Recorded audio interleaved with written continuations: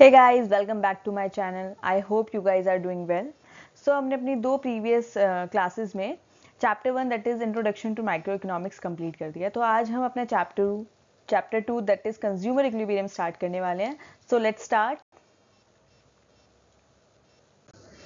तो हमारी सबसे पहली टर्म आती है consumer so what is consumer हम लोग क्या है? हम लोग कंज्यूमर हैं क्योंकि हम लोगों को एक वांट्स आती हैं डिज़ायर आती हैं जिसकी वजह से हम गुड्स को परचेज करते हैं। उन वांट्स को सेटिस्फाई करने के लिए। लाइक like हमें वेजिटेबल्स परचेज करते हैं, क्योंकि हमें भूख लग रही होती है तो हम उससे सब्ज़ियाँ बना के खाते हैं। तो वो क्या है, हमारी एक वॉन्ट है, ठीक है? उसको सेटिस्फाई करने के लिए हम उनको खरीद रहे हैं। किसी बच्चे के लिए चॉकलेट खरीद रहे हैं, क्योंकि उसको क्रेविंग आ रही है चॉकलेट की तो उसकी एक वॉन्ट्स है। उसके लिए हम उस गुड्स को खरीदते हैं। तो वो कंज्यूमर बन जाते हैं। तो कंज्यूमर क्या है? कंज्यूमर क्या है हमारा? Is one who buy goods and services वो एक वो इंसान है जो गुड्स एंड सर्विसेज़ को बाय करता है अपनी वॉन्ट्स को सेटिस्फाई करने के लिए ठीक है ना? वो अपनी वॉन्ट्स को सेटिस्फाई करने के लिए गुड्स एंड सर्विसेज़ को परचेज करता है। तो मेन ऑब्जेक्टिव क्या होता है? Is to maximize the satisfaction from spending his income on various goods and services अब क्या होता है? कंज्यूमर है। क्या होता है? उसके पास उसकी इनकम होती है। लेट्स फॉर एग्ज़ाम्पल उसके पास टेन थाउज़ेंड रुपीज़ है। सॉरी oh, इस इंसान के पास दस हज़ार रुपये हैं। तो ये अपनी इनकम को इस तरीके से स्पेंड करेगा different types of goods and services में कि उसको मैक्सिमम सेटिस्फेक्शन हो। ठीक है ना? उसको ज़्यादा से ज़्यादा सेटिस्फेक्शन मिल सके। इस तरीके से वो अपनी इनकम को स्पेंड करता है। अब उसके पास दस हज़ार रुपये हैं। तो आप बताओ कि वो कैसे अपनी सेटिस्फेक्शन मैक्सिमम लेवल पे सेटिस्फाई कर सकता है? उसके पास ऑप्शन है। वो कार बाय कर ले। ठीक है? या फिर वो अपना जो भी उसको नेसेसरी गुड्स हैं सर्वाइवल के लिए वो परचेज कर ले। ठीक है ना? अपना ग्रॉसरी खरीद लिया उसने, या अपना कपड़े खरीद लिए, या उसने अपनी ट्रिप प्लान कर ली, बच्चों की एजुकेशन फ़ीस जो है वो देनी है उसे। तो क्या करेगा कि वो अपनी इस इनकम को इन गुड्स एंड सर्विसेज़ में इस तरीके से स्पेंड करेगा कि उसको मैक्सिमम सेटिस्फेक्शन हो पाए। और सबसे मेन तो उसके नेसेसरी गुड्स हैं सर्वाइवल के लिए, खाना, पीना, ये सारा सामान। नेक्स्ट उसके लिए एजुकेशन फ़ीस इंपॉर्टेंट है। फिर उसके बाद कभी जाके वो अपने व्हीकल की बात करेगा, कार तो ट्रिप तो सबसे लास्ट है तो इस इसके अकॉर्डिंग वो अपनी मनी को स्पेंड करेगा कि उसको मैक्सिमम सेटिस्फेक्शन हो सके, ठीक है? दैट्स ऑल ये हमारे कंज्यूमर होता है कंज्यूमर के बाद हमारी नेक्स्ट टर्म है utility so what is utility अब क्या होता है कि हम, हमारी जो कम्युनिटी होती है, हम कोई कम्युनिटी परचेज करते हैं अपनी वॉन्ट्स को सेटिस्फाई करने के लिए। तो हमने एक टर्म दी हुई है यूटिलिटी ये क्या है? Is the want satisfying power of a commodity हम ये कह रहे हैं कि अगर आ, कोई बंदा एप्पल खा रहा है ठीक है ना? फॉर एग्ज़ाम्पल उसने एप्पल खाया। तो जो उसने पहला एग्ज़ाम पहला एप्पल खाया उससे उसकी कितनी वॉन्ट सेटिस्फाई हो रही है? मान लो उसको बहुत भूख लग रही थी बहुत ज़ोर से तो उसने अपना क्या किया? एप्पल खा लिया। तो एप्पल से उसकी भूख थोड़ी कम हुई, ठीक है ना? तो उसको क्या होगा, उस पहले एप्पल से खा के बहुत ज़्यादा यूटिलिटी हुई होगी, क्योंकि उसकी जो वांट पहली एप्पल खाने पे उसकी सेटिस्फाई होगी, वो अल्टीमेट रही होगी। उसके बाद वो सेकंड एप्पल खाएगा। ठीक है ना? इसमें भी उसकी कुछ वॉन्ट सेटिस्फाई होगी, मगर जो लेवल यहाँ पर था उतना नहीं होगा, यहाँ पर उसकी यूटिलिटी थोड़ी कम होगी, क्योंकि उसने अब थोड़ा उसका पेट भर चुका है। उसके बाद फिर वो तीन यूनिट खा लेगा। फर्दर वो चार खाएगा, फिर पाँच छः पॉइंट पे आके वो ऐसा हो जाएगा, नहीं भाई, बस मैं और नहीं खा सकता। क्योंकि क्या है, उसकी यूटिलिटी है फॉल होती जा रही है, क्योंकि जैसे जैसे वो मैक्सिमम ऑफ़ कम्युनिटी को कंज्यूम करता जा रहा है, उससे उसको मिलने वाली सेटिस्फेक्शन कम होती जा रही है। ठीक है ना? तो यूटिलिटी क्या होता है? वॉन्ट सेटिस्फाइंग पावर है कि एक चीज़ हमारी कितनी वॉन्ट को सेटिस्फाई कर पा रही है, उसकी पावर कितनी है, ठीक है ना? तो मैंने क्या बताया था एप्पल जो पहली यूनिट खाएगा ना, उससे मिलने वाली यूटिलिटी उसको मैक्सिमम होगी, ठीक है ना? उस टाइम पे उसकी वॉन्ट सेटिस्फाइंग पावर सबसे ज़्यादा रही होगी। एज कंपेयर टू फाइव और सिक्स पे तो ये होगा, उसकी ज़ीरो हो जाएगी। एक पॉइंट पे तो खाना ही नहीं पसंद करेगा। नहीं नहीं, भाई, बस, मैं और नहीं खा सकता, वरना मैं वॉमिट कर दूँगा। फिर कभी एक टाइम पॉइंट उसकी नेगेटिव ही हो जाएगी, ठीक है ना? अब क्या होता है अब ये क्या आता है, इसकी no standard unit for measuring utility utility की कोई स्टैंडर्ड यूनिट नहीं है। आपकी सेटिस्फेक्शन हो गया एप्पल खाया, आपको अच्छा लगा। आपकी भूख खत्म हो गई थोड़ी, ठीक है ना? उसकी कोई स्टैंडर्ड यूनिट नहीं है, आप किसी चीज़ में उसको मेजर नहीं कर सकते। इकोनॉमिक्स ने एक इमेजिनरी यूनिट सेट कर रखी है और इसको मेजर करने के लिए उसने एक वर्ड रखा हुआ है दैट इज़ यूटिल्स ठीक है ना? Unit which are use to measure satisfaction is known as utils तो जो सेटिस्फेक्शन को मेजर करती है यूनिट उसको वो यूटिल्स बोल रहा है ठीक है ना? और ये एक इमेजिनरी यूनिट है ठीक है ना? ऐसी कोई यूनिट्स नहीं होती है। लाइक like, यूनिट्स का मतलब क्या होता है? किलोमीटर के लीटर तो इसमें हम यूटिलिटी के लिए कोई हमारे पास यूनिट नहीं है। तो एक इमेजिनरी यूनिट सेट कर रखिए दैट इज़ यूटिल्स ठीक है?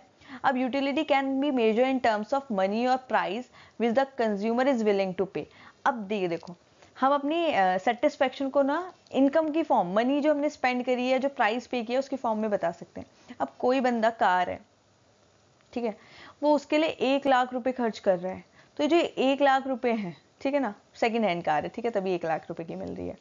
तो वो जो एक लाख रुपए खर्च कर रहा है ना, वो इसके लिए क्या है? यूटिलिटी है। मतलब ये ये पैसा दे के वो सेटिस्फेक्शन ले रहा है। तो हम उस टाइम में उसकी यूटिलिटी को मनी की फॉर्म में बोल सकते हैं कि उस कार को खरीदने में उसने एक लाख रुपए जो स्पेंड करे हैं ना, वो एक लाख रुपए उसकी यूटिलिटी हो जाएगी कि इस सेटिस्फेक्शन को पाने के लिए वो इतना पैसा खर्च कर रहा है, ठीक है ना? या फिर जो भी उसका प्राइस रहा होगा, अगर कोई न्यू सेकेंड हैंड की जगह हम न्यू कार बोल रहे हैं, उसने भैया ट्वेंटी लैक्स दे दिए। तो ये ट्वेंटी लैख क्या है? ये यूटिलिटी है। इसकी यूटिलिटी है, इतनी इससे इसको यूटिलिटी मिली है कि ये इस कार को खरीदने के लिए भाई साहब 20 लाख रुपए खर्च करने के लिए तैयार है। ठीक है ना? इससे हम बता सकते हैं इसकी, कि इसकी वॉन सेटिस्फाइंग पावर कितनी ज़्यादा रही होगी। अब क्या होता है? The advantage of monetary value using of monetary value instead of utils allow easy comparison between utility and price paid since both in the same form ठीक है ना? फॉर्म सेम यूनिट क्या बोल रहे हैं कि क्या आता है कि एडवांटेज क्या है मॉनेटरी वैल्यू का करने में एज कंपेयर टू यूटिल्स देखो आप यूटिल्स में तो हमें पता नहीं है तो हम इजीली कंपैरिजन नहीं कर पाएँगे। अगर मनी की फॉर्म में बोले अगर हम बोल दें कि एक है एग्ज़ाम्पल कार का, दूसरा है हाउस का। कार के लिए वो ट्वेंटी लैक्स दे रहे हैं, इसके लिए मान लो इसने फिफ्टी लैख दिया। ठीक है तो आप देख सकते हो कि इसकी और इसमें डिफरेंस इसमें ज़्यादा है। तो मतलब कि यहाँ से उसे जो यूटिलिटी मिलेगी, वो मैक्सिमम मिलेगी।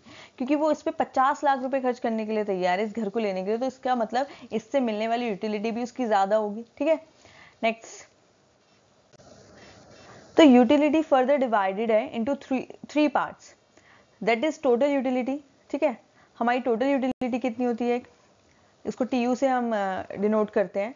Next is average utility that is A U and the margin utility M U तो अब मैं फर्दर स्लाइड्स में आपको एक्सप्लेन करूँगी इनको ब्रीफली सो लेट्स एक्सप्लेन मैं आपको छोटा सा एक्सप्लेनेशन दे देती हूँ उसका. T U that is total utility ठीक है? अब आपको मैंने यूटिलिटी बताया था. यूटिलिटी के हमारा क्या होता है?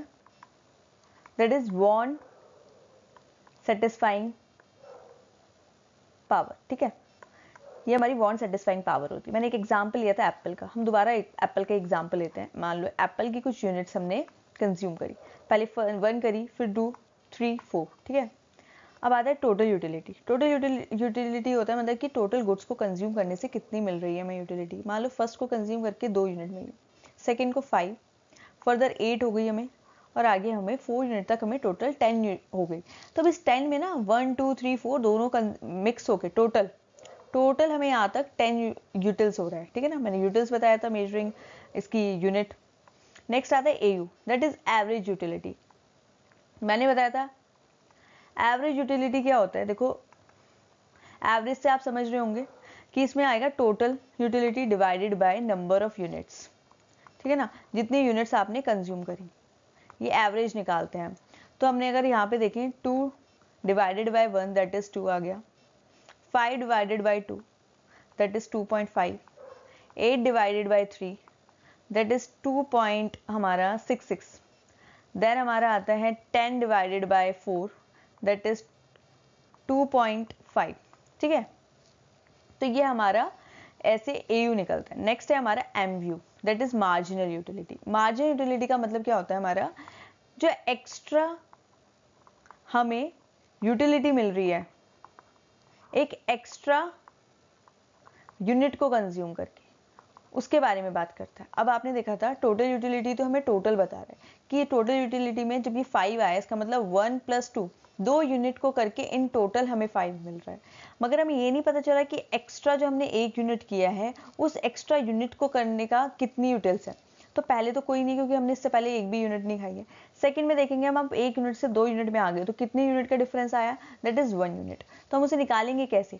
जो दो यूनिट का है माइनस कर देंगे वन यूनिट का दैट इज़ थ्री तो एक यूनिट का डिफरेंस था थ्री यहाँ पे हम देखेंगे, हम जब फर्दर आगे आए हैं तो यहाँ एट हो गया। पहले कितना था फाइव तो डिफरेंस कितने का आया हमारा?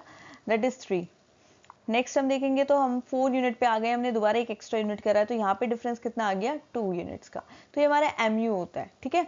कि एक्स्ट्रा यूटिलिटी हमें कितनी हो रही है जब हम एक एक्स्ट्रा यूनिट को कंज्यूम कर रहे हैं। आई होप आप लोगों को ये क्लियर हो गया होगा। सो नेक्स्ट इज़ अब आते हैं approaches to study consumer behaviour क्या होता है? आप कंज्यूमर बिहेवियर की हम बात कर रहे हैं यहाँ पे तो दो अप्रोचेस दिए हुए हैं। That is cardinal approach and second is ordinal approach तो हम ये दो अप्रोच पढ़ेंगे तो अब हम पहले कार्डिनल यूटिलिटी अप्रोच से स्टार्ट करते हैं। So let's start so so, हम सबसे पहले स्टार्ट कर रहे हैं कार्डिनल अप्रोच इसका क्या है? In order to maximize the satisfaction level it is necessary to determine the quantum of satisfaction obtain from particular commodity क्या हो रहे हैं कि अगर हमें अपना मैक्सिमम सेटिस्फेक्शन लेवल जानना है उसके लिए हमें पता होना चाहिए कि एक पर्टिकुलर कम्युनिटी को कंज्यूम करते हैं जब हम। तो वो हमारी कितनी क्वांटम ऑफ़ सेटिस्फेक्शन को फुलफिल कर रहा है। तो ये इससे हमें पता चलेगा किस पॉइंट पे हमारी मैक्सिमम सेटिस्फेक्शन हो रही है। हम फाइंड आउट करते हैं कि मैक्सिमम वो पॉइंट कौन सा होगा। जब हमने एप्पल कंज्यूम किए, हम लोगों ने पहले एक खाया, दो खाया, तीन खाए, पाँच छः ऐसे खाते गए हम लोग। तो क्या करेंगे? हम वो पॉइंट निकालेंगे।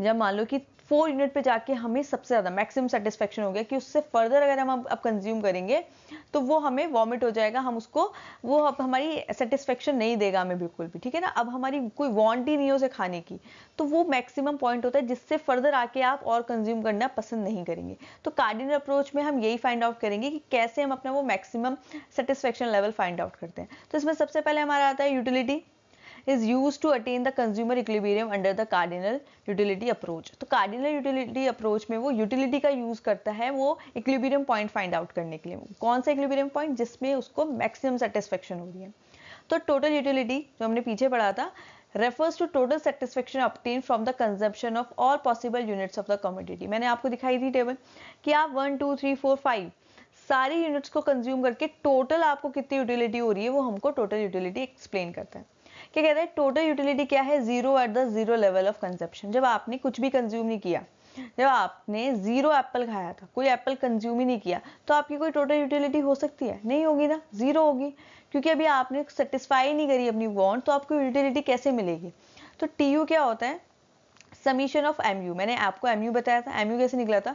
कि हमने टी यू एन से माइनस किया T U N minus one मतलब कि हमने जैसे फाइव यूनिट्स थी फोर यूनिट्स थी थ्री यूनिट्स थी तो इसको एट मिल रहा था, इसको फाइव मिल रहा था तो इनका डिफरेंस था थ्री का। तो ये थ्री था। तो अगर आप इन सबको एड ऑन करते चले जाएँगे ना एमयू को तो आपका टी निकल आएगा। तो टी क्या होता है? समीशन ऑफ़ एम होता है।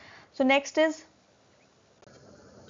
तो नेक्स्ट है मार्जिनल यूटिलिटी मार्जिनल यूटिलिटी का मतलब क्या होता है? Refers to additional utility derive from consumption of one more unit of given commodity मैंने बताया था ना, अगर आप एक एक्स्ट्रा यूनिट कंज्यूम कर रहे हैं तो उससे मिलने वाली एक्स्ट्रा यूटिलिटी को एमयू बोलते हैं। तो हम इसको यूटिलिटी को ड्राइव करते हैं the last unit of commodity purchase ये क्या होता है कि लास्ट यूनिट जो हमने कम्युनिटी की परचेज करी है, उससे मिलने वाली यूटिलिटी से हमें एमयू पता चलता है।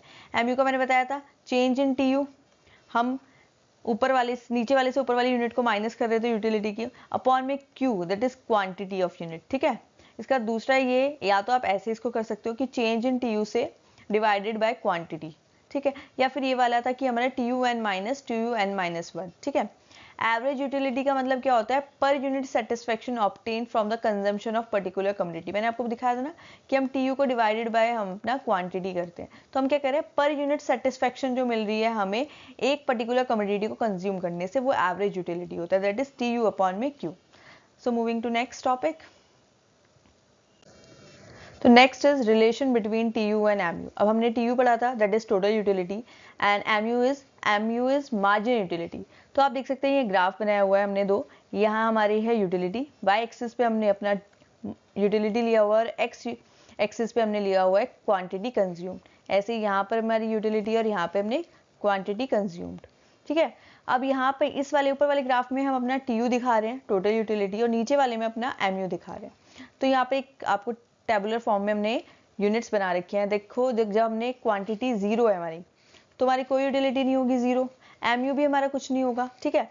जब हम एक यूनिट कंज्यूम कर रहे हैं तो हमारी टोटल यूटिलिटी हो रही है एट तो इस पॉइंट पे हमारा एमयू क्या होगा? अब देखो एट माइनस ज़ीरो एक फॉर्मूला था T U N minus T U N minus one ठीक है?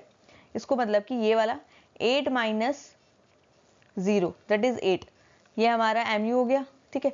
दूसरा फॉर्मूला हमारा क्या था? Change in T U upon में क्वांटिटी तो आप देख सकते हैं चेंज कितने का आया? एट ठीक है? और क्वांटिटी कितनी है? वन तो एट ही आ गया हमारा, ठीक? नेक्स्ट देखो, जब हमने दो कम्युनिटी कंज्यूम किया तो हमें टोटल यूटिलिटी हुआ है फोर्टीन और ये हमारे कैसे निकलेगा? Fourteen minus eight that is six next three unit पे हमें एटीन आया, ये भी ऐसे ही four six minus four sorry fourteen minus eighteen minus fourteen तो ये हमारा फोर आ गया। नेक्स्ट आता है हमारा ट्वेंटी हो गया, ये ट्वेंटी माइनस एटीन टू आ गया। तो आप देख रहे हो, इस पॉइंट तक हमारा क्या है? पॉजिटिव है।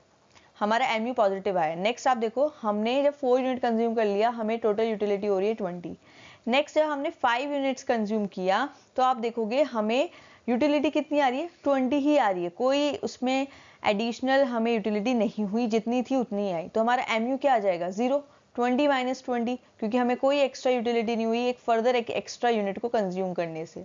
ठीक है? नेक्स्ट जब हम सिक्स यूनिट पर आ गए हैं तो आप देख सकते हो हमारी यूटिलिटी अब क्या हो गई है? टोटल यूटिलिटी फॉल हो गई है, गिर गई है, क्योंकि अब हमें कोई सेटिस्फेक्शन फुलफिल नहीं हो रही है उससे, अब हम उसको और कंज्यूम नहीं कर सकते हैं। तो आप देखेंगे अब हमारे यहाँ एम कैसे आएगा? ट्वेंटी माइनस, हमारा एटीन माइनस ट्वेंटी, ठीक है ना? क्योंकि T U N minus T U N minus one होता है दैट इज़ माइनस टू अब हम देख सकते हैं हमारी एक्स्ट्रा यूनिट को कंज्यूम करने से मिलने वाली एक्स्ट्रा यूटिलिटी अब नेगेटिव हो गई है। तो आप यहाँ देख सकते हैं इनिशियली हमारा क्या है? पॉजिटिव है। फोर यूनिट तक। फाइव यूनिट पे आके हमारी जो एमयू है वो ज़ीरो हो गई है। और सिक्स पॉइंट तक आते आते हम नेगेटिव में जा चुके हैं, ठीक है ना? अब हमें उससे कोई सेटिस्फेक्शन नहीं हो रहा है। हम उससे नेगेटिव में जा सकते तो आप ग्राफ के थ्रू देखेंगे अगर टी यू पहले क्या हुआ है ज़ीरो से स्टार्ट हुआ है तो वो ओरिजिन से स्टार्ट होगा, ठीक है? फर्दर वो क्या हो रहा है इंक्रीज हो रहा है।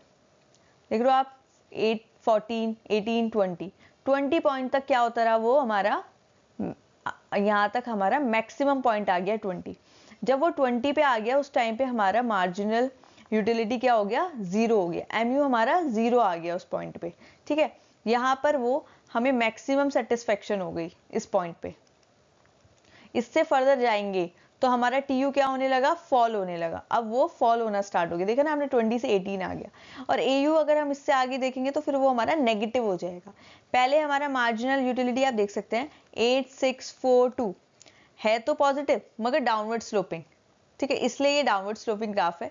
उसके बाद एक पॉइंट पे आके वो ज़ीरो हो जाता है, जहाँ पे हमारा टी यू क्या होता है मैक्सिमम होता है। और उसके बाद अगर अब फर्दर हम कुछ कंज्यूम करें तो हमारा टी यू फॉल होना स्टार्ट हो जाएगा ड्यू टू विच हमारा मार्जिन यूटिलिटी नेगेटिव हो जाएगा, ठीक है?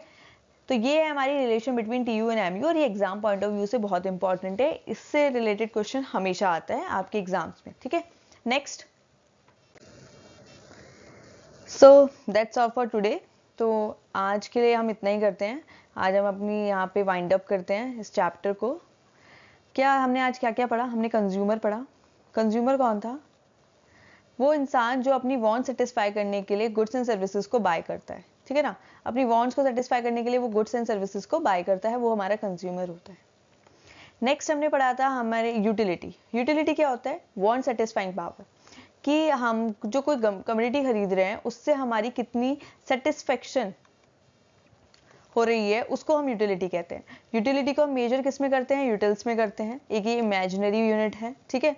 उसके बाद हमने पढ़ा यूटिलिटी के पार्ट्स होते हैं। एक यूटिलिटी होता है total utility marginal utility and average utility ठीक है ना? टोटल यूटिलिटी क्या होती है जब हम सारी कम्युनिटीज को कंज्यूम करने से मिलने वाली यूटिलिटी मार्जिनल क्या होता है? एक्स्ट्रा यूनिट को कंज्यूम करने से जो एक्स्ट्रा यूटिलिटी मिल रही है, उसको हम ए बोलते हैं एम बोलते हैं। और ए हमारा क्या होता है? ये हमारा T U divided by quantity per unit हमें कितनी यूटिलिटी मिल रही है, वो हमारा ए यू बताता है। और हमने पढ़ा relationship between A U and M U sorry T U and M U हमारा टी यू क्या होता है? ऐसे इस तरीके से होता है। ज़ीरो से स्टार्ट होता है ओरिजिन से स्टार्ट होता है, फिर वो एक पॉइंट पे जाके मैक्सिमम हो जाता है, फिर उसके बाद वो फॉल होना स्टार्ट हो जाता है। ठीक है, और हमारा ए भी हम इससे ही एम यू हम इसी से ही हम ना मेजर कर सकते हैं कि पहले वो हमारा यहाँ से हुआ, जहाँ पर ये मैक्सिमम होगा, वहाँ पर हमारा एम यू ज़ीरो होगा। उसके बाद हमारा एम यू क्या होने लगेगा? नेगेटिव हो जाएगा। और ये हमारा डाउनवर्ड स्लोपिंग रहता है क्योंकि हमारा एम यू हर यूनिट पे फर्दर वो कम ही होता रहता है। एक पॉइंट पे आके ज़ीरो फिर बाद में वो नेगेटिव हो जाता है। So that's all thank you अब हम फर्दर अपनी नेक्स्ट क्लास में पढ़ेंगे। So please like subscribe share my channel bye bye tata